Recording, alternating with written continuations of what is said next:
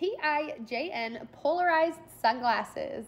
So I've gone with the trendy three pack, going for more of the kind of darker toned variations. So first one up is gonna be more of a classic aviator style. Then we've got kind of more of this wide lens, almost like cat eye looking one. And then this looks similar to say a classic Wayfarer in kind of more of a tortoise shell variation. But you guys can see how dark the actual lenses are on there. It is wild. You get 100% UV protection. So you're going to be so good and covered when you're out in the sun in these.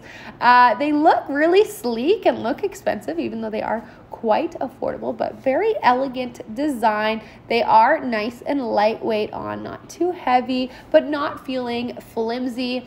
They are a triacetate cellulose lens for reference, polarized, and have that UV coating. Check them out.